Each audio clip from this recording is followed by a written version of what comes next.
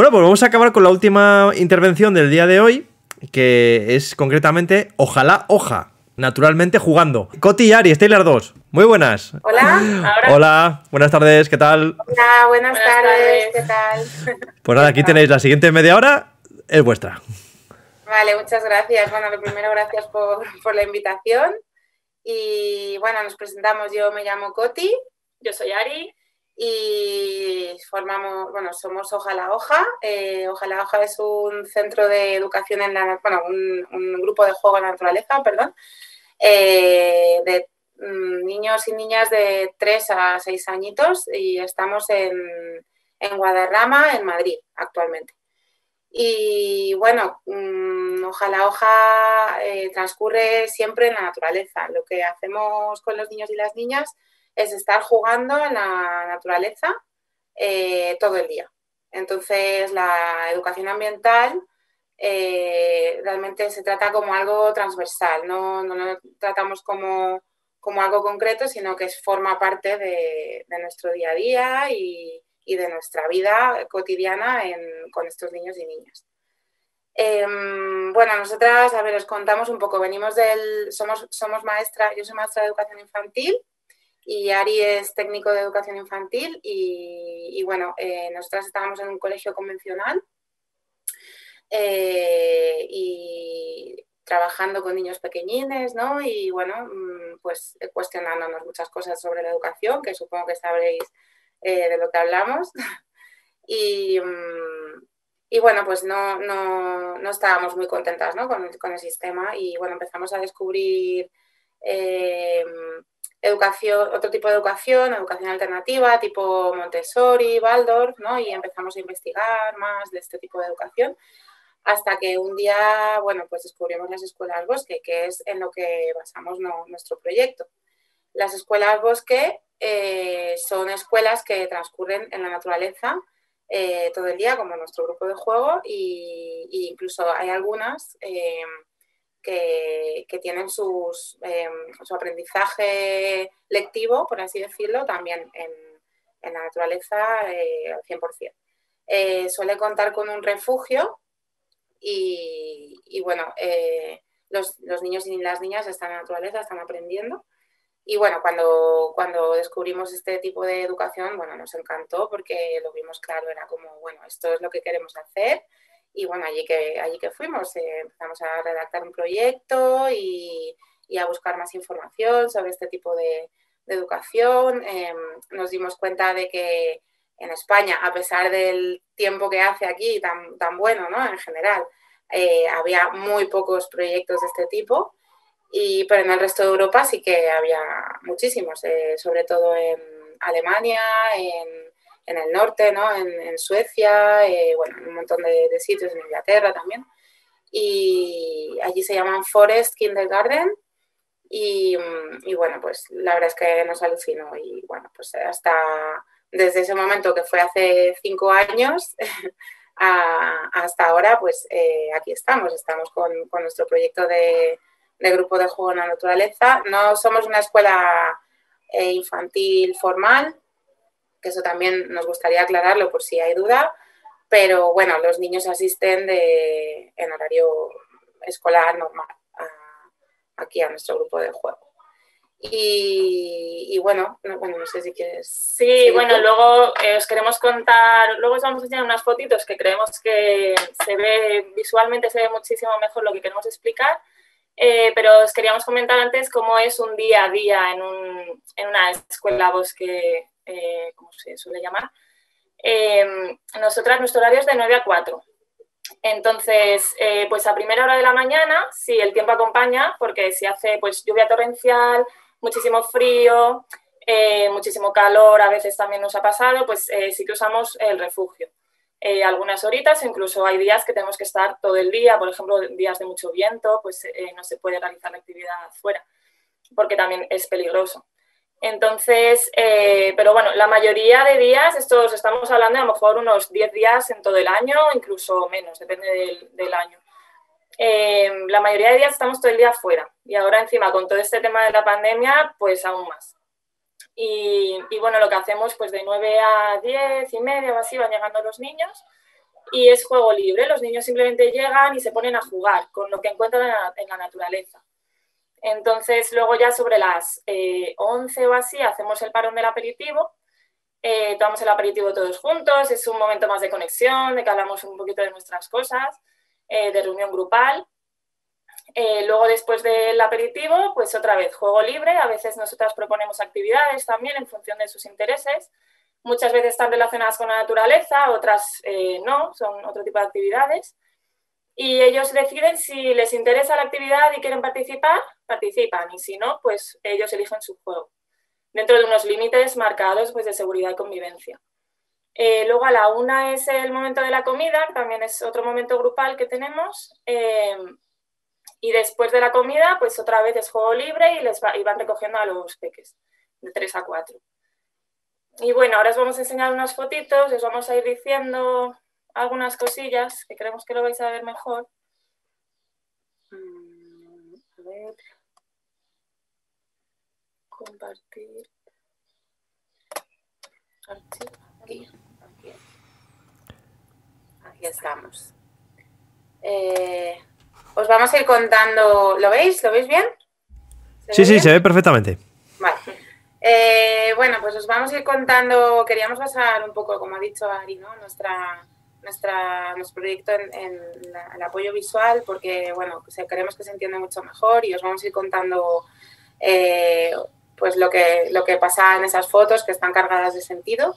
Y, bueno, luego nos gustaría también eh, contaros algunas anécdotas y también em, si tenéis dudas, también que nos preguntéis, que estamos abiertas a ello. a ver si, nos da tiempo a todos.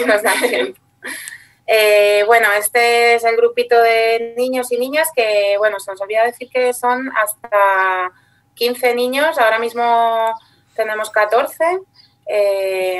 Pero bueno, el grupo puede ser hasta máximo 15, eh, es una ratio muy reducida porque eh, con, la, ratio reducida pues la calidad ¿no? es, es, mucho, es mucho mejor. De hecho, nuestros pilares eh, del proyecto son el respeto, ¿no? el respeto al niño, el, juego libre y la naturaleza. entonces, dentro del respeto al, niño, pues cabe esto, pues el, valorar sus tiempos y sus, sus ¿no? pues, em, su capacidad de, estar y de ser y, bueno, em, respetar sus...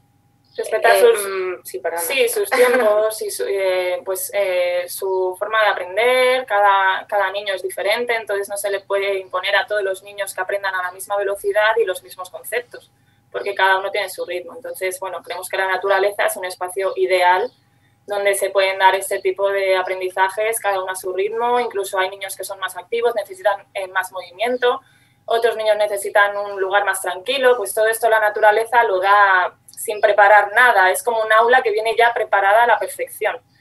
Entonces, pues es eh, lo que consideramos lo ideal, el espacio ideal para que estén los niños. Y bueno, esta foto que veis eh, es después de Filomena, Eh, algunos árboles se cayeron, algunas ranas se cayeron, entonces, eh, bueno, pues aprovechamos a, visitar la finca donde estamos em, después de Filomena, cuando ya pudimos volver, eh, y justo vimos que había un tronco que se había caído, entonces, bueno, pues aprovechamos ese cambio que había habido en, nuestro aula para pues escalarlo y jugar, pues interaccionar ¿no? con lo que había cambiado.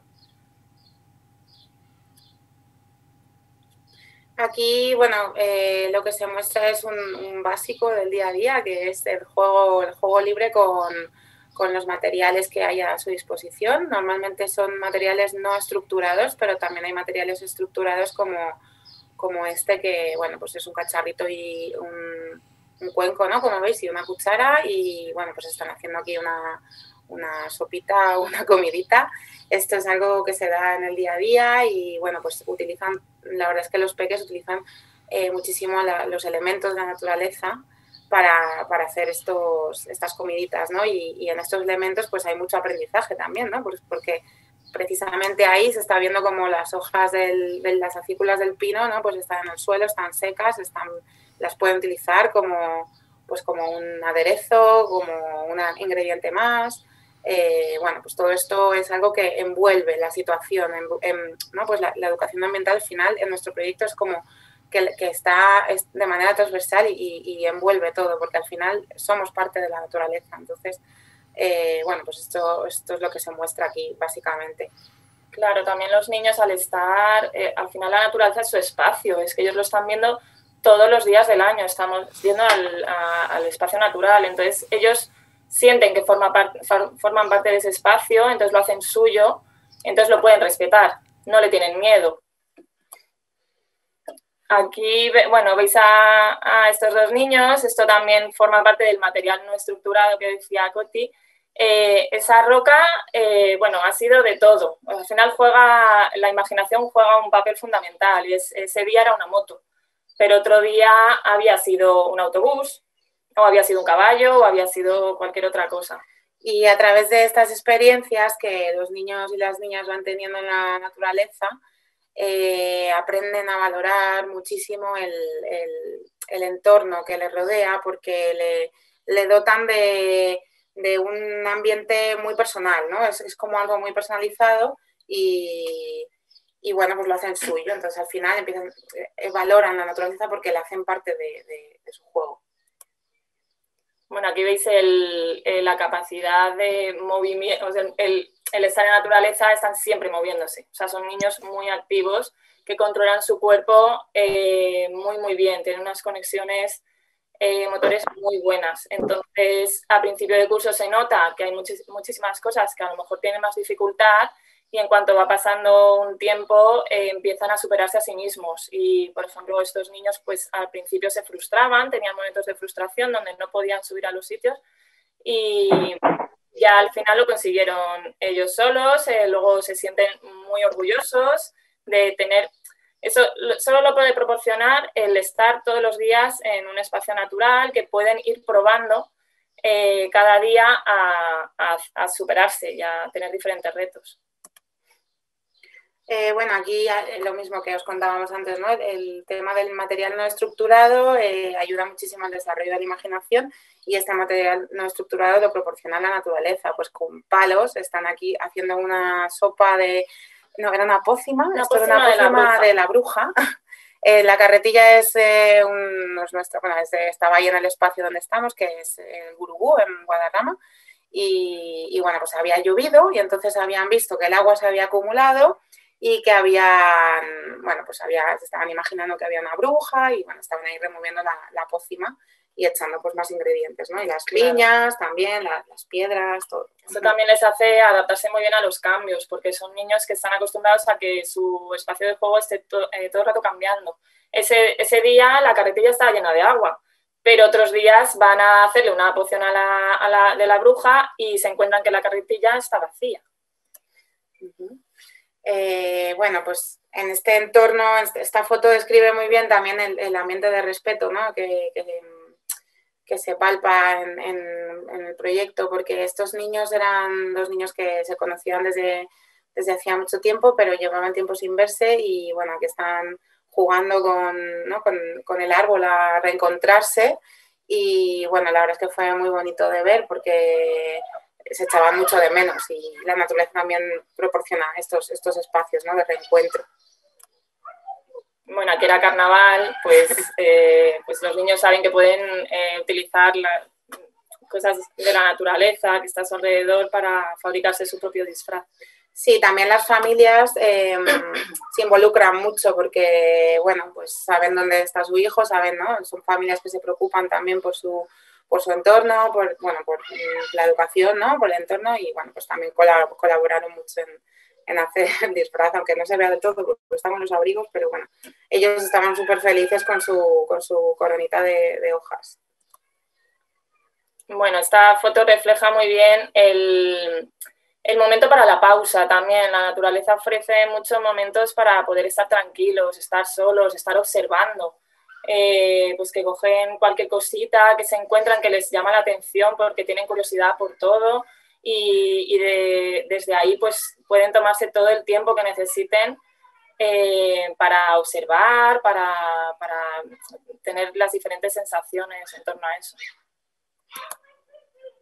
Em, esta foto no es del campo donde, bueno, del, entorno donde estamos siempre, porque también hacemos excursiones a otros campos. Este es del campo donde estaba el proyecto antes, que era el Alpedrete, que por la, a raíz de la pandemia pues nos tuvimos que cambiar. Y bueno, pues fue hace poco que fuimos a, este campo y bueno, pues nos lo encontramos todo lleno de flores, estaba increíble, ¿no? Pues eh, ya cambió el paisaje allí.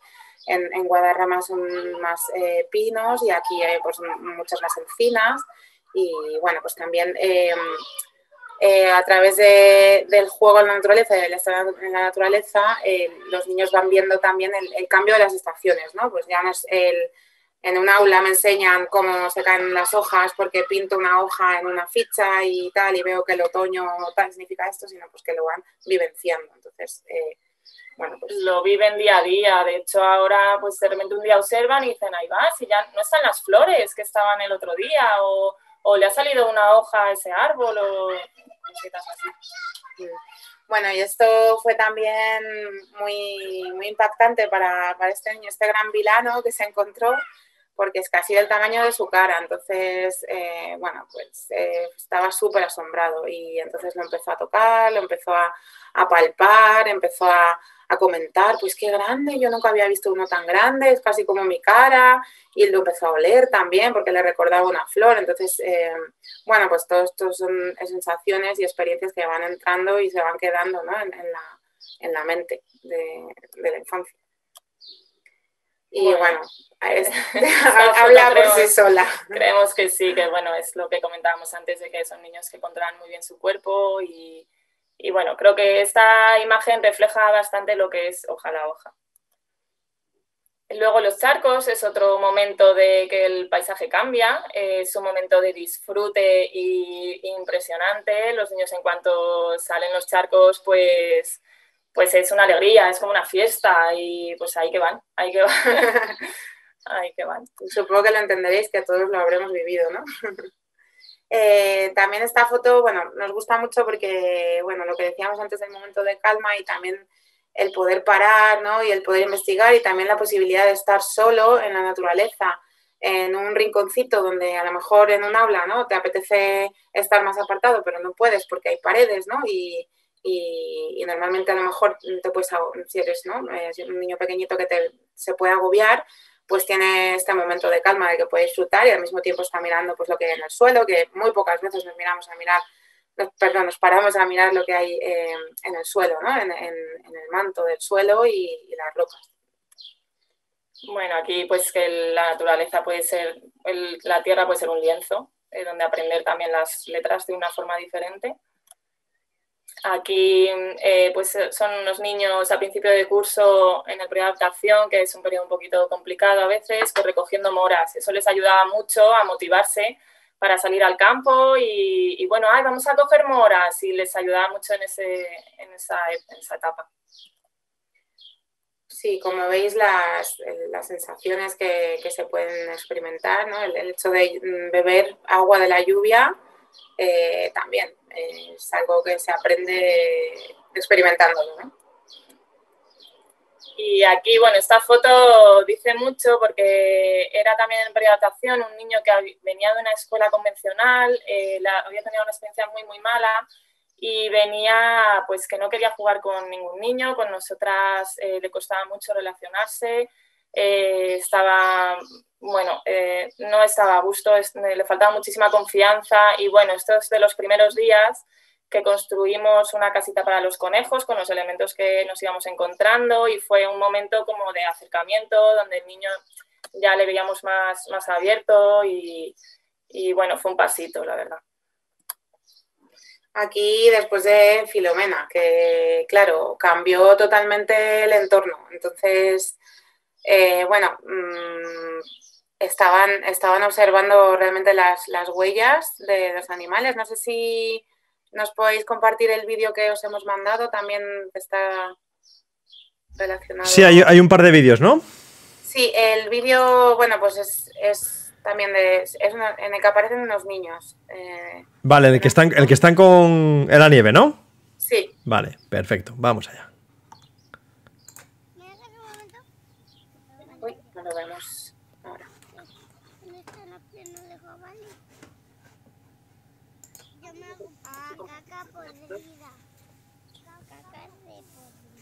Mira, tiene un círculo pequeño y luego otros dos delante. Oye, ¿también me dejáis verlo? Creo que tiene perro esta, pero ustedes tienen una tos y tres. Pero, Adán, Creo que es un perrito date la vuelta pequeñito, para allá. creo. Creo que es un perrito. Vale. Vale. Vale.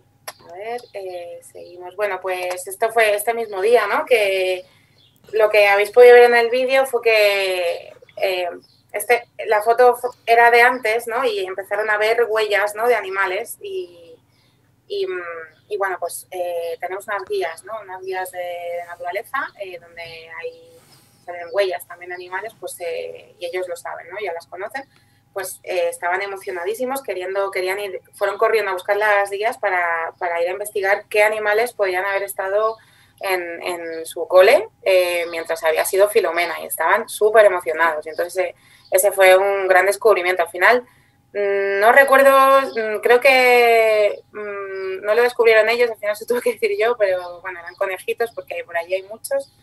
Pero bueno, así estuvieron un buen rato investigando y contando y bueno, viendo qué podía ser y fue también súper significativo. Y bueno, Bueno, aquí la manita muscaria, que ya es súper famosa en Hoja la Hoja, los niños la tienen como la seta referente. Ese día salieron un montón, eh, fuimos a explorar por la finca y de repente nos encontramos con un montón de setas y claro, los niños se acordaban que habían visto en una guía una foto igual que, igual que esta, que la, que la seta. Entonces fueron corriendo también a buscar la guía donde son cosas que son que no se pueden ni comer ni tocar de la naturaleza. Entonces, pues ellos sabían que estaba ahí, la, empezaron a, a, buscar y bueno, pues leímos todo y ya ellos, claro, lo saben identificar porque lo están viendo y les asombró muchísimo también. Aquí, bueno, pues lombrices, eh, nos encontramos todo tipo de cosillas por ahí, ellos la observan.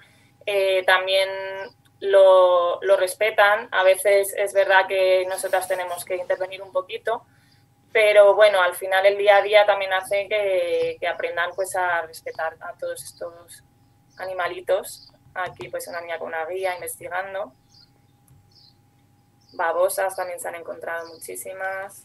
La foto de la niña de la guía era una roca, que estaba, no se veía, no se veía bien, pero había encontrado una piedra y también teníamos una guía de, de piedras y de rocas de, de, la Sierra de Guadarrama. Y, y bueno, eh, pues estaba comparando y buscando ahí en las fotos y también no son solo los animales lo que buscan, sino también sí, eh, otro tipo de cosas. Tienen ahí de todo. Sí, nosotras vamos aprendiendo con ellos, porque nosotras realmente eh, venimos del mundo de la educación, entonces también es bonito ir investigando juntos, ir aprendiendo, buscando información y bueno, nosotras hemos aprendido ya un montón y con ellos pues, pues más. Luego, bueno, teníamos una cabra en el espacio, no era nuestra, pero compartía espacio con nosotros, eh, ahora ya no está. Pero bueno, también era un poco el respeto. Ellos eh, aprendieron cuál era el, el, árbol que más le gustaba a, a la cabra, a Nieves. Y, y, pues ellos ya iban a darle de comer, sabían que tampoco le podían dar demasiado de comer, porque si no Nieves eh, eh, pues era demasiado, que no tenía fin. Y bueno, aprendían también que no podían ir corriendo hacia ella porque se asustaba. Eh, no podían gritarle porque también se asustaba y bueno, poco a poco pues ya fue, fueron interiorizando ese respeto. Aquí, bueno, estamos con Cuca, una urraca que hay por nuestro espacio, que, que es que viene a visitarnos eh, todos los días. Ahora está un poquito más desaparecida, pero nos viene siempre a saludar. Y, y bueno, también pues es otra interacción que tenemos. Aquí un nido que nos encontramos un día. Y bueno, esta también es una foto con mucha historia porque, eh, bueno, eh, damos, damos paseillos por la finca, ¿no? Y a veces eh, pues nos encontramos cadáveres de animales y este ha sido el cadáver más grande que nos hemos encontrado. Y bueno, pues estaban los niños súper curiosos queriendo saber lo que era y bueno, resulta que el, el sitio donde estamos es un centro de interpretación medioambiental eh, tenemos esa suerte y bueno, nos contaron que había un zorrito que venía a visitarles que se llamaba Guru eh, y bueno, pues eh, un día nos enseñaron un vídeo de ese zorrito que tenía sarna y que estaba bastante malito y eso fue hace bastante, hacía bastante, ¿no? y después de ver estos huesos, pues claro, empezaron a, a, preguntarse si no sería guru, porque claro, estaba malito y bueno, pues también tocando el tema de la muerte, que la muerte eh, es, bastante, es un tema bastante tabú con los niños, no se suele tratar muy a menudo y bueno, pues eh, situaciones como esta dan, dan, lugar a hablar de, de ello y bueno, pues eh, y a observar mucho, por supuesto. Vale, pues eh, creemos que se nos ha ido el tiempo ya.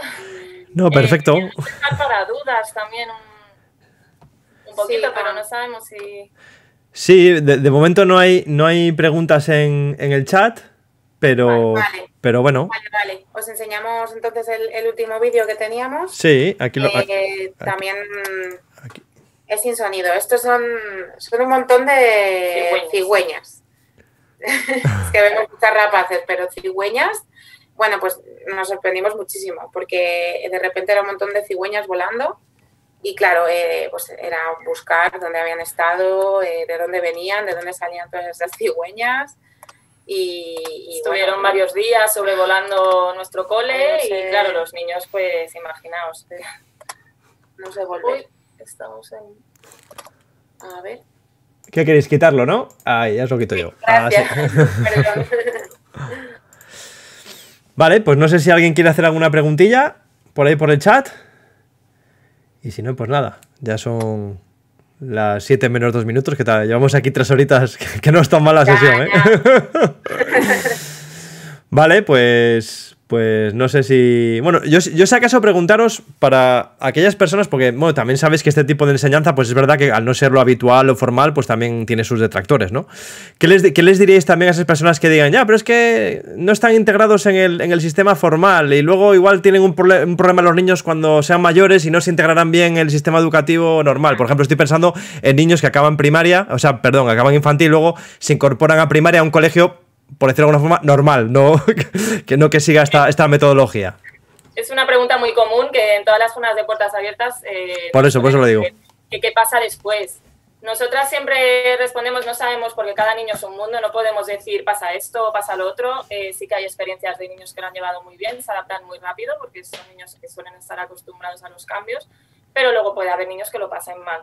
Eh, lo que siempre decimos es que al menos han tenido esa etapa desde los 3 a los 6, que es fundamental en la infancia, para eh, que ha sido respetada y han hecho lo que tenían que hacer, que era jugar, eh, moverse y no estar sentados en una silla dibujando fichas. Entonces, bueno, eh, toda esa etapa es algo que se llevan para el resto de su vida.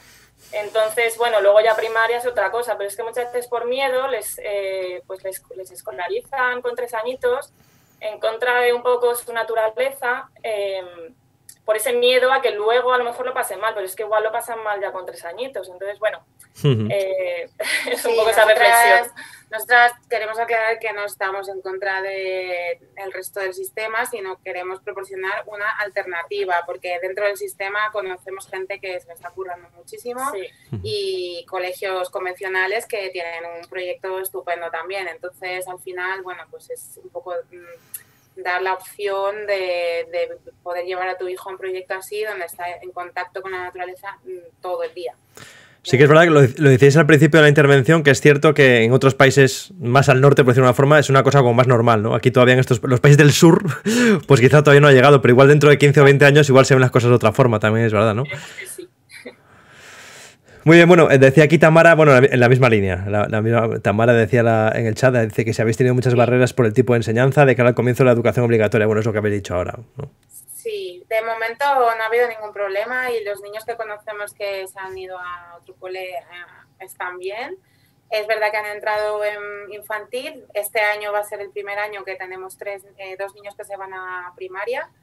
Y bueno, pues ahí estamos expectantes a ver que, cómo uh -huh. lo viven, cómo lo vivencian. Pero... Muchas veces tienen ya ganas, porque sí. ellos ya pues ya tienen amigos que van a coles convencionales, entonces claro. dicen, ah, pues eh, voy a este sitio donde voy a hacer deberes o, me, o voy a, a, sentarme a escribir o cosas así. Entonces, claro, muchas veces lo viven como un cambio positivo. Además, por su desarrollo cognitivo, pues también es el momento, ¿no? A partir de los 6, 7 años es el momento en el que el cuerpo pide ya pues estar a lo mejor un poco más de tiempo sentado, descubriendo y, bueno, pues haciendo otras cosas y una actividad eh, esta, es, o sea, es, eh, se puede hacer perfectamente en un cole normal, ¿no? Ujú. Entonces, bueno, es como la edad perfecta. Mm, La edad infantil es que es la etapa del juego y del movimiento.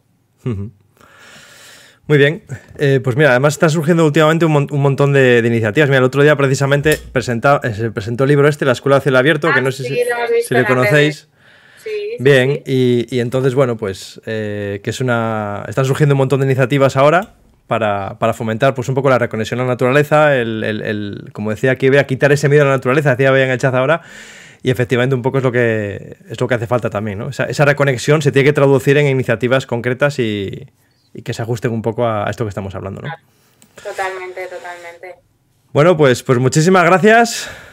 Eh, gracias a vosotros y a vosotras. por, por- por contarnos vuestra, vuestra experiencia, que, que es una, una apuesta muy, muy valiente y muy, muy, muy necesaria. Y que nada, que ha sido un placer, que ya son las 7 y 2 minutos, que ha sido, ha sido una tarde intensa de nuevo. Y nada, simplemente os recuerdo a, los participantes que la última sesión es este jueves. Ya sabéis que los miércoles descansamos y terminamos el jueves. Así que el jueves nos vemos. Bueno, pues un placer y Igualmente. ya nos vemos. Venga, un saludo. Vale, adiós. Hasta luego. Adiós, neuronas verdes.